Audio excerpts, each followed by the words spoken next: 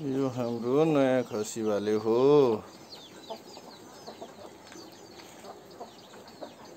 एउटा सफल भयो एउटा असफल भयो बनाउँदाखेरि। यसको सिउर काटिएको छ। यसको सिउर लामो उच्च खालको थियो।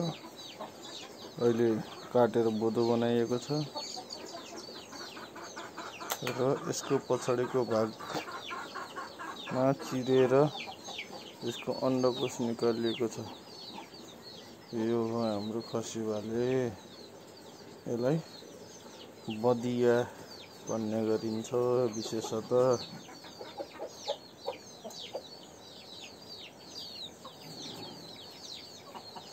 यो बदिया बनाएको जम्मा दुई दिन भयो। यो अब स्वस्थ हुँदैछ।